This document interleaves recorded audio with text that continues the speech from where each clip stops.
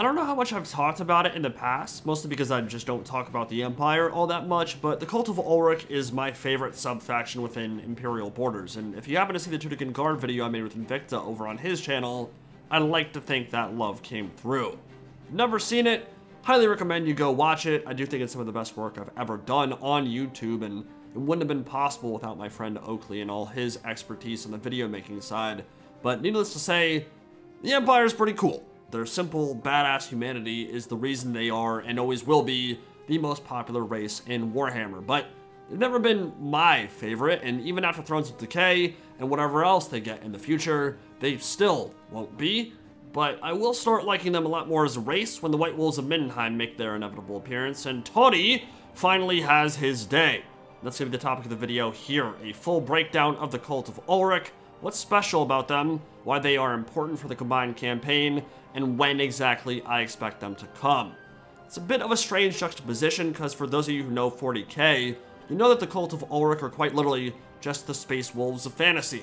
All the Viking wildman bravado, the plaited beards, the doggo motifs, all the focus on winter and war. Just look at their official artwork and see why it's kind of a struggle to tell them apart. And yes, lots of Flanderization too. Wolf this, wolf that, can't pretend like those themes first came into play with Kislev, Ice, and Bears. It's not a new thing with this setting. But yeah, it's weird because the Space Wolves are one of my least favorite loyal legions in 40k, but I adore the Cult of Ulric in fantasy, and I think they're going to bring a lot to the game for the Empire when they come. So, first things first, are they coming in Thrones of Decay? Probably not. I don't think we should entirely rule them out yet, but as I've stated, I do believe Thrones of Decay will focus more on Nuln and Elspeth von Draken, Jubal Falk, and the Nuln Ironsides when it drops in December of this year. Reason one being their rivalry with Tamurkhan, and reason two being their emphasis on engineers and toolboxes, which was the hint given to us for the Dwarf Legendary character, coming in the same update.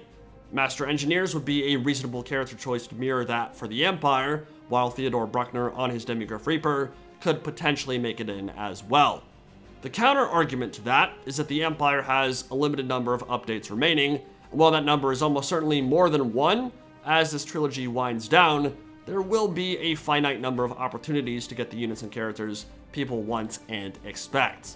C.A. Rich, head of the DLC and new content team for Warhammer, has said multiple times that Toddy will have his day, and that he finds the Cult of Ulric an interesting and worthy inclusion in the trilogy, which means they're extremely likely to come at some point. We just don't know when. That point could potentially be before the end of this year. Also important for me to note that fully themed sub-faction expansions aren't even all that common as DLC anyway. Usually there's a lord, a hero, and maybe one or two units on top of that related to a certain theme, like Clan Eshin with Shadow and the Blade, but it's generally not a top to bottom reconstruction of a sub-faction where everything is all tied together. What we're talking about here for the Cult of Ulric would be just as in depth as Deathmaster Snikch and the Assassin Rats of the Far East, perhaps even more so. So it wouldn't shock me if it never came down to a complete Cult of Ulric appearance, but rather just some specific units and characters alongside a wider and more general Empire update. For this video though, we're going to operate under the assumption that Creative Assembly finds the Cult of Ulric so engaging, so utterly sensual and furry, they go full Red Rocket and give us everything all at once, sometime down the line after Elspeth and Nuln have had their time in the sun. Now, the Cult of Ulric is essentially the binding agent of the Northern Empire, the official doctrine and clergy of Middenland, and the second most influential religion in the Empire after the Cult of Sigmar. It is an ancient creed, almost unchanged in practice for more than 2,000 years, a church built on war, embodying all of mankind's courage, strength, and resilience in the face of overwhelming odds. Their war god Ulric is a harsh, savage deity associated with winter, wolves, and wilderness, and takes on almost a Viking-like, barbarous visage that reflects the rage of the Berserker tribes just north across the Sea of Claws.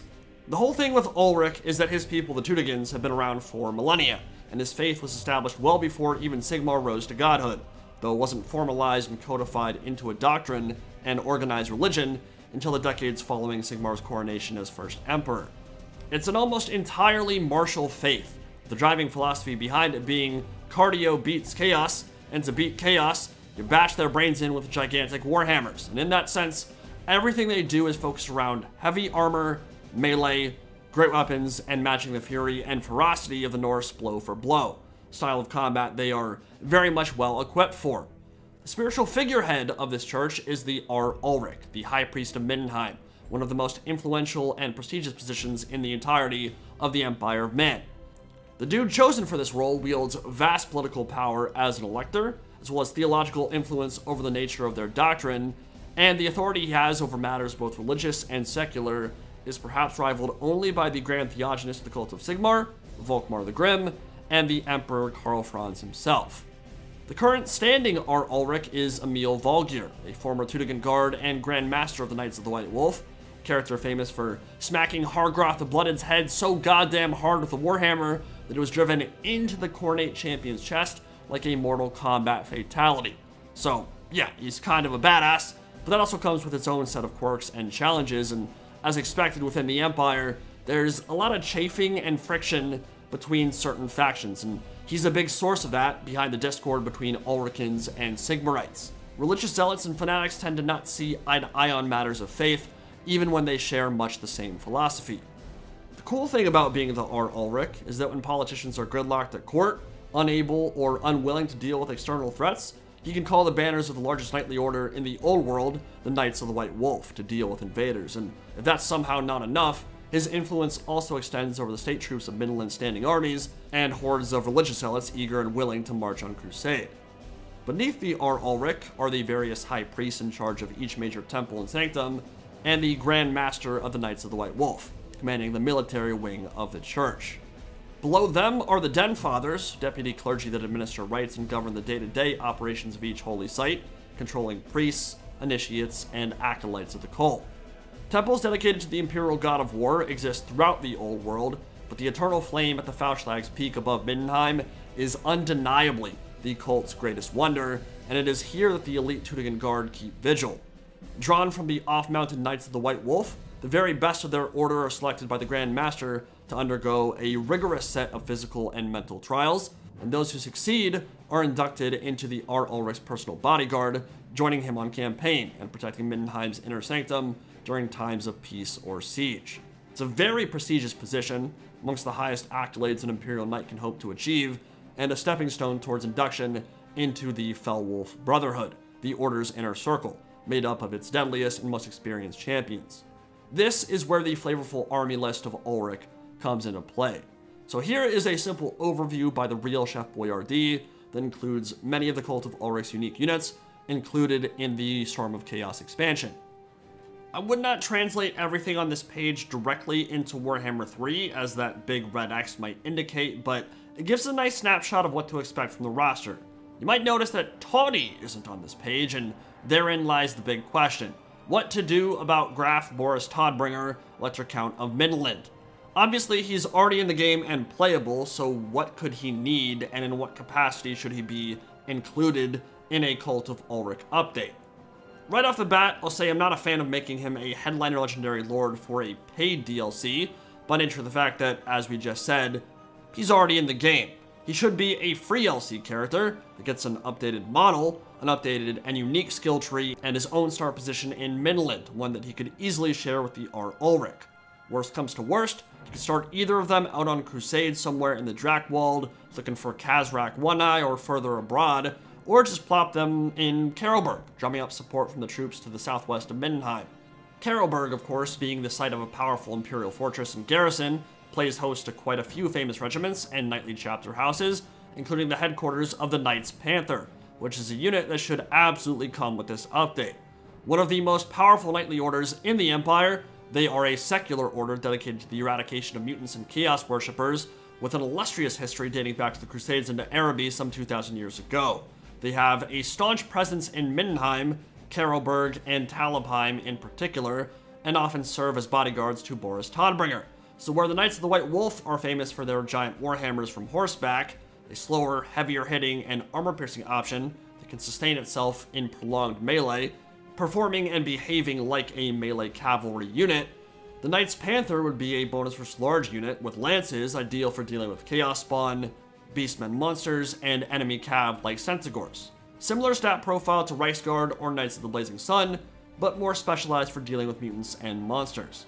Obviously, there will be some overlap here in their role alongside all the other Knights of the Empire, but this is an important facet of the Imperial roster that has not been explored nearly enough yet. Knights are a big part of the Empire. We should have most of the main ones at the very least. And I'd argue you really can't do a DLC like this justice without including both Knights Panther and Knights of the White Wolf. Teutogen Guard would be a dismounted variant of the Knights of the White Wolf, armed with great hammers with a heavy dose of AP. They'd have larger charge bonus, weapon strength, and overall stats than great swords, but they'd function more like an anti-armor generalist and would be less specialized for cutting through infantry.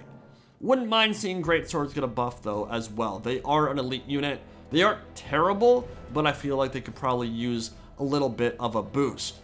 In the hero slot, warrior priests of Ulric or wolf priests are the obvious choice. There are three aspects from the divine lore of Ulric, the Snow King, the White Wolf, and the Blood Hand, and so I'd like to see two spells or abilities from each, to help reflect that.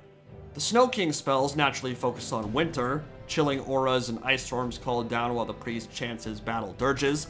The White Wolf would focus on melee buffs and inspiring auras for allies, and the Blood Hand would embrace the berserker aspects of their faith, with physical resistance, frenzy, rampage, those kinds of thematic traits.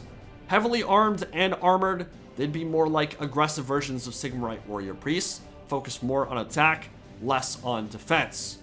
On the lower end of the cult of Ulric are the rank and file mob, the Wolfkin. While the flagellants of Sigmar might wander around cities bleeding about their offenses and hitting each other with sticks, the followers of Ulric take a different path. Those who become convinced of their own or the world's sinfulness become berserk warriors who travel the Northern Empire looking for trouble, then fighting it head on.